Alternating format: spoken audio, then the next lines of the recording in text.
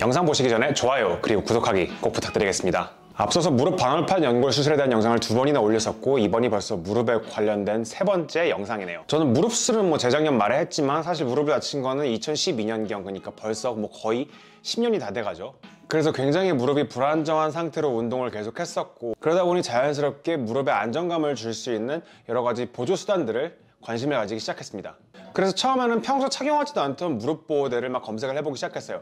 진짜 몇천 원짜리 싸구려부터 10만 원 넘는 고급형 무릎 보호대까지 가격별로 형태별로 많이 써봤고 그리고 또 많이 접해봤습니다. 그래서 이번 영상은 무릎 보호대부터 근육 테이프까지 제가 건강하게 주짓수를 수련하고 운동을 할 수 있도록 하기 위해 제 무릎에 사용했던 여러 가지 보조 수단들에 관련된 이야기를 해보려고 해요. 우선 보조 수단이라고 하는 게 도구만 말하는 게 아니죠. 스트레칭도 열심히 하기 시작했습니다. 특히 운동 전에 땀 흘리는 정도로 몸이 많이 풀리지가 않으면 절대로 스파링은 하지 않았고 심지어 컨디션이 굉장히 안 좋다고 느껴지는 날에는 아예 스파링을 피하거나 가벼운 사람하고만 스파링을 하기도 했어요.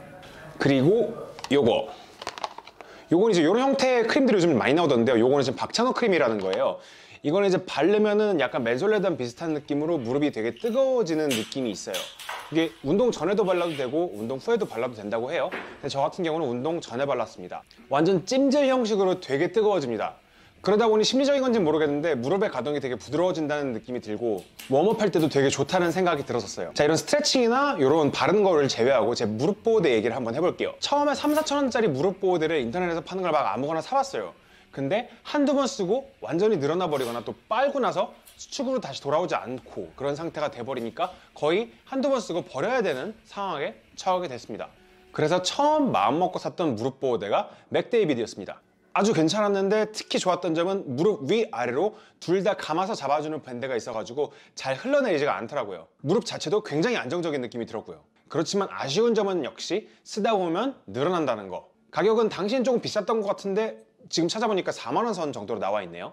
그 다음으로 썼던 모델 뮬러입니다. 뮬러는 손가락 테이핑도 되게 많이들 쓰세요. 맥데이비드가 막 늘어나가지고 어쩔 수 없이 다른 걸로 시도해보기 위해서 뮬러를 샀는데 압박감 자체는 맥 데이비드보다도 훨씬 좋았던 것 같아요. 기본적인 구조는 맥 데이비드랑 비슷한 것 같지만 뭔가 좀 달라요. 상당히 오래 썼습니다. 그래서 그렇지만 아쉬운 점은 찍찍이가 조금 빨리 떨어지더라고요. 그래서 나중에는 이게 해져가지고 잘 안 붙는 그런 현상이 나더라고요.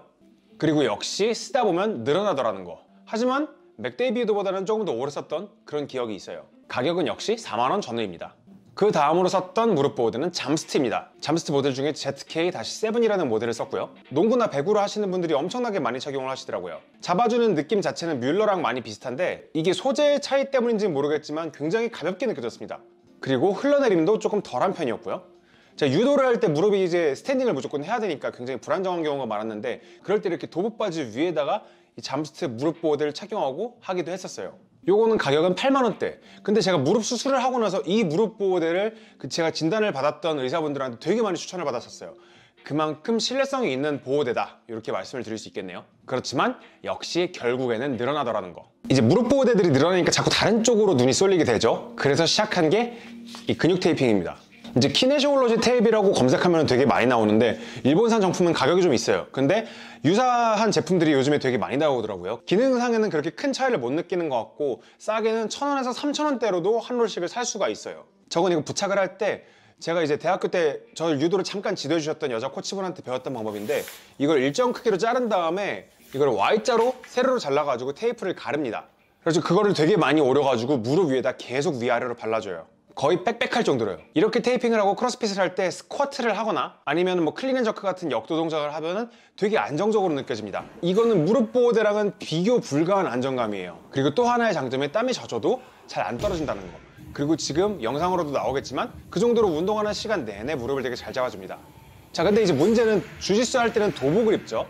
도복을 입고 이렇게 무릎 부위 같은 데를 잡고 막 꼬집고 할 때가 되게 많습니다. 그러다 보면 이제 이 근육 테이핑을 한 상태로 바지를 입으면은 테이핑이 떨어져 나가거나 그 바지 안쪽에 이렇게 붙기가 쉽겠죠? 그래서 생각해낼 방법이 이 타이즈를 입는 겁니다. 이렇게 되면 이제 무릎 같은 데를 잡아도 근육 테이프가 잡히지가 않고 이게 대신 잡혀주기 때문에 그게 유지가 되더라고요. 그리고 안쪽에서 말리거나 붙지도 않아요. 되게 안정적이더라고요. 이게 제가 지금까지 생각해낸 주짓수나 유도를 할 때 가장 안정적으로 무릎을 잡아줄 수 있는 보조 수단이었어요.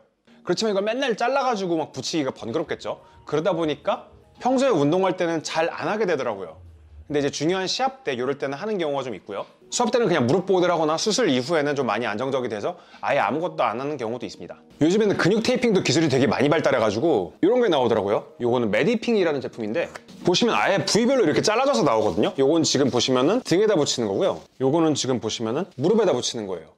그러니까 이런 형태로 아예 잘라져서 나와요. 근데 이게 특징이 뭐냐? 그냥 근육 테이프가 아니라 파스 기능이 있어요. 그러니까 얘를 붙이면은 그 부위가 뜨겁게 열이 올라서 제 몸을 워밍업을 하는데 되게 도움을 많이 줍니다. 그래서 저는 요거하고 일반 근육 테이프를 섞어가지고 부착을 하기도 해요. 이것도 나름 제가 생각해낸 방법이지만 되게 좋은 방법이 될 수 있겠죠. 또 이런 것도 있어요. 이거는 요즘에도 파는지는 모르겠는데 감지라고 하는 무릎 보호대예요. 보시면 안쪽에 이렇게 근육 테이프들이 고무로 발라져 있어요. 그래서 이거를 뒤집어 가지고 무릎에다 부착해서 신습니다. 그러면 근육 테이프처럼 살에 붙어 가지고 좀 무릎을 안정적으로 잡아주긴 합니다. 그런데 문제는 땀이 나서 이게 조금씩 미끄러져 내려오다가 결국은 빠져버리더라고요. 그래서 스파링 하다가 막 중간에 빼고 하는 경우가 있어가지고 좋긴 한데 약간 좀 아쉬운 부분이 있습니다. 요거 비슷한 제품으로 요즘에 에너스킨이라고 나오더라고요. 관심 있으신 분들은 그런 제품을 또 찾아보셔도 괜찮을 것 같습니다. 근데 제가 듣기로 에너스킨도 그 비슷한 미끄러짐 현상이 있다고 그래요. 그리고 지금 나오는 이 사진은 이제 미스터 파커에서 구매하실 수 있는 무릎 보호대인데 요거는 무릎 자체를 잡아주기보다는 충격 방지용 패드가 달려 있어요. 그래서 레슬링이나 주짓수를 수련하시는 분들 중에 저처럼 무릎에 수술을 했다든지 하는 경우 때문에 무릎에 충격이 가는 거를 좀 줄이고 싶으신 분들은 이런 모델도 있다는 걸 참고하시면 좋겠네요. 그리고 마지막 언제나 운동을 끝내고 아이싱을 합니다.